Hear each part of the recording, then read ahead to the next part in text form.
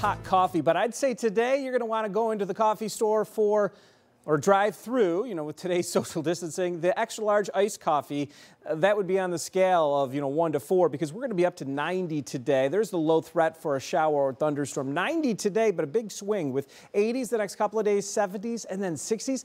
Some spots won't get out of the 50s on Sunday. There could even be a lake effect sprinkle early in the day on that day. We're going below average. So if you're not a big fan of the heat, there are going to be some changes. High pressure's been with us, giving us the sunshine the last couple of days. Again today, but the moisture now coming in out of the south, high humidity will percolate up some cumulus clouds, but also some high clouds from this system down in Florida will start to stream overhead as we go into the afternoon. So more like partial sunshine to finish the day with low risk for rain. A better chance comes tomorrow. This low pressure spinning will be coming in and sliding to the north and especially south of Syracuse clouds for tomorrow, but we will get some scattered showers and thunderstorms. So let's get into the future cast. At noon today, I'd say a mix of sun and high thin clouds. There'll be a few scattered cumulus clouds, and those clouds might get the upper hand briefly here, 3 or 4 o'clock, where there could be an isolated shower thunderstorm. Best chance east and northeast of Onondaga County. So in this zone, Syracuse area, south and west, should be completely dry for today. Most of us, even those areas, will be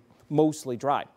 Then into the evening, those settle down. Tonight, only down to the upper 60s after hitting 90 today, near the record high. So you'll need to keep that air conditioning going. Tomorrow, high humidity, lower 80s though, with those clouds thickening, an isolated shower or two. Then a few scattered showers or thunderstorms late day into the evening.